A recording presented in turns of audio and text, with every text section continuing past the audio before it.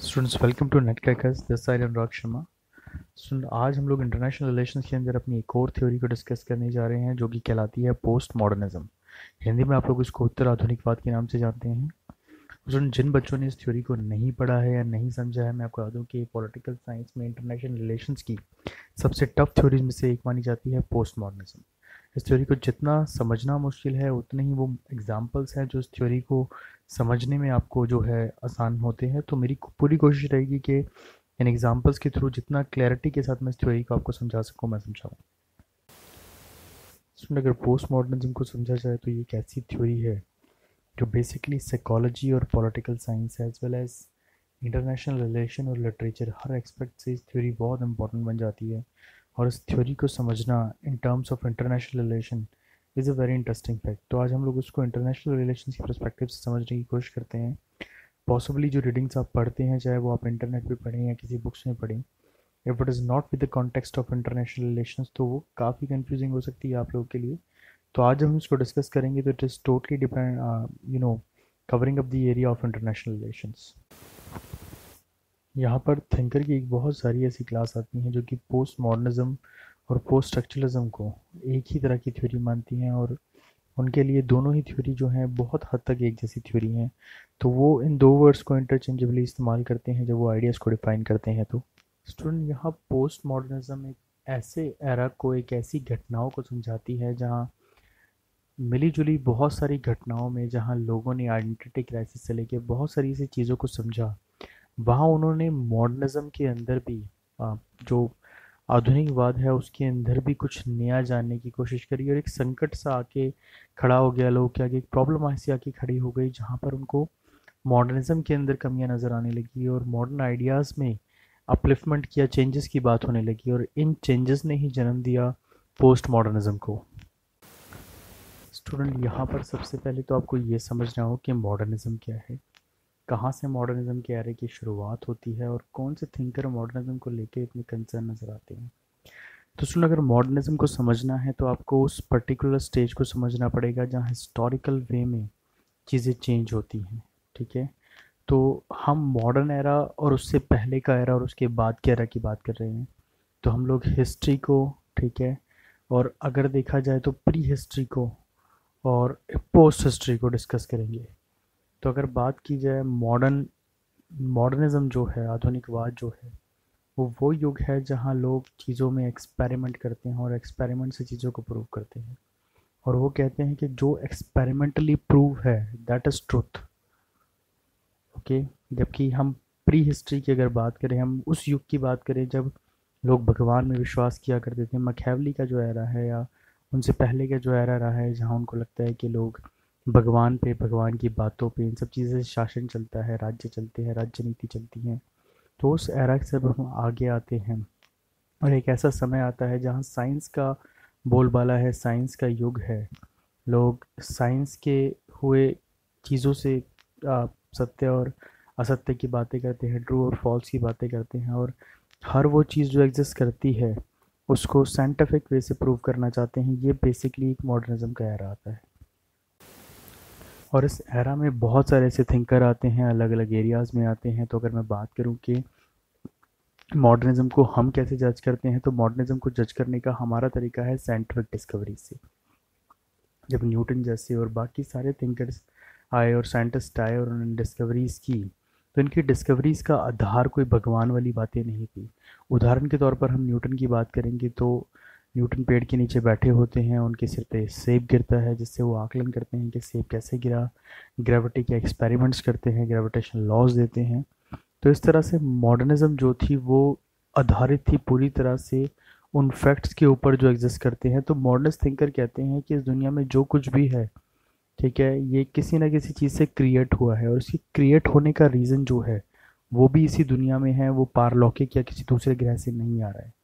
ठीक है तो whatever the exist in front of you that is natural that exist and it is exist because of the natural elements existing on to the planet earth only student समझने की बात यहाँ पर यह भी है कि अगर हम बात करें कि मॉडर्निज्म से पहले की एरा की तो वहाँ पर क्योंकि भगवान और अध्यात्म इन सब चीज़ों की बातें बहुत ज़्यादा थी। मेटाफिजिक्स बहुत वर्क किया करता था तो उस टाइम पर जो नॉलेज थी वो रेस्ट्रिक्टेड थी कुछ लोगों के लिए।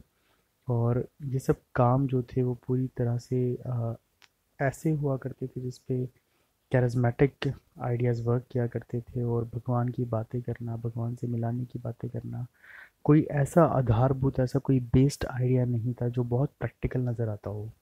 तो यहाँ पर जो क्रिटिसिज्म भी होती है उस पर्टिकुलर एरा की वो उस चीज़ को लेके होती है। फॉर एग्जांपल मैकेवली जब आ, इस एरा की बात करते हैं तो बोलते थे डार्केस्ट एरा ठीक है उनके हिसाब से एक ऐसा एरा है जहाँ कोई प्रयोग नहीं है कोई एक्सपेरिमेंट नहीं किया जाता चीज़ों को प्रूव करने के लिए। जिसका जो मन आता है वो उस चीज़ पे वो थोप दिया करता है। तो वो बोलते that is the darkest era ठीक है तो इस तरह से जब थिंकर आए और मॉडर्न एरा आया तो मॉडर्न एरा में चीज़ें एक्सपेरिमेंटल हो गई। एक्सपेरिमेंट करो एंड चीज़ों को प्रूव करो। That is the means of modern era student यहाँ पर एक फ़ेमस इंसिडेंट आता है गैलीलियो का। मैं आपको बता दूँ कि अपने टाइम में गैलीलियो ने बहुत सारी रचनाएँ की, बहुत सारी खोज की। उनकी जितनी भी राइटिंग्स थी, वो सारी की सारी एस्ट्रोनॉमी के ऊपर और इस तरह के आइडियाज़ के ऊपर बेस्ड थी, जहाँ पर स्टार्स की दूरी, क्या हो, कि एग्जस्ट क्या लोकेशन है और सन और अर्थ का क्या रिलेशन है, किस तरह से दोनों जो है प्लैनेट्स एक दूसरे के ऊपर जो है इफ़ेक्ट डालते हैं। तो यहाँ गैलीलियो बोलते हैं कि सूरज बीच में है और अर्थ उसके चक्कर काटती है। तो जब ये इस तरह की बातें करते हैं तो वो लोग जो आध्यात्मिक आइडियाज़ रखते हैं रिलीजियस बातें रखते हैं, वो गैलीलियो को सज़ा देते हैं। सज़ा मौत तक गैलीलियो पहुँच जाती है। बट फाइनली फिर गैलीलियो खुद को सेव करने के लिए कहते हैं कि, जी, मेरी बातें गलत हैं, ऐसा कुछ नहीं है। तो गैलीलियो को उस पनिशमेंट से बचा लिया जाता है। उनको फ्री कर दिया जाता है। बट जब गैलीलियो बाहर आते हैं तो वो दोबारा ही कहते हैं कि, भले ही आप कुछ भी कहो, बात तो यही सच है। कि सन एक जगह रहता है, औरत घूमती रहती है। इसी के बाद जब मख्यावली आते हैं और हॉब्स ऐसे थिंकर आते हैं तो हॉब्स और मख्यावली भी अपने उदाहरणों में इस तरह की बहुत बातें करते हैं। इसलिए हॉब्स को तो उनके समय का गैलीलियो ही बोला जाता है, जिस तरह की एग्ज़ाम्पल हॉब्स देते हैं साइंटिफिक आइडियाज़ देते हैं। तो ये पर्टिकुलरली वो टाइम है जब अध्यात्म और मॉडर्निज़्म का जो एरा है, जहाँ मॉडर्निज़्म आ रही है, वहाँ पे एक बहुत बड़ा टकराव हो रहा है। और ऑब्वियसली बात है, इस मॉडर्निज़्म के आने के साथ साथ नए आइडियाज़ भी आते हैं, जैसे कि हमने पहले भी हॉब्स की, उसमें इसको डिस्कस किया है कि कुछ लोग जो हैं, वो मखैवली को मॉडर्न पॉलिटिकल थिंकर के तौर पर जानते हैं, कुछ हॉब्स को जानते हैं। तो इस तरह के जो आइडियाज़ हैं, यहाँ पर जहाँ चीज़ें बदल रही हैं चेंज का दौर आ रहा है। तो इस तरह की आइडियाज़ में साइंस एक बहुत इंपॉर्टेंट रोल प्ले करती है यहाँ पर। उस समय का असर ये हुआ कि जो विज्ञान था, उसका बहुत विकास हुआ। साइंस की बहुत डेवलपमेंट हुई। चाहे वो केमिस्ट्री हो फिज़िक्स हो एस्ट्रोनॉमी हो या कोई भी फ़ील्ड हो साइंस का बहुत ज़्यादा धीरे धीरे जो लोगों के ऊपर इन्फ्लुएंस था, वो पड़ा इवन अगर आप साइंटिफिक हिस्ट्री को देखोगे तो मॉडर्निज्म का जो एरा था, वो एक बड़ा बूम आया। वो लोग अब तक जो साइंस से दूर रहा करते थे, वो जुड़ने लगे। लोग अब साइंटिफिक आइडियाज़ को ज़्यादा तवज्जो देने लगे या ज़्यादा उन पर बिलीव करने लगे और धीरे धीरे जो साइंटिफिक डिस्कवरीज थी, वो जानी गई इसी एरा के अंदर, जहाँ एक के बाद एक नई नई डिस्कवरी होती रही और साइंस अपने पीक पे आती रही। स्टूडेंट यहाँ पर हम कुछ और एग्जांपल भी लेंगे। उदाहरण के तौर पर हम मखैवली और हॉब्स की बात करेंगे। दोनों ही थिंकर मॉडर्निज्म के अंदर बहुत इंपॉर्टेंट रोल प्ले करेंगे। रीजन थिंकर्स ने जिस तरह के आइडिया दिए वो एक ऐसा टाइम था जब बहुत सारी नई फ़ील्ड इवॉल्व हुई।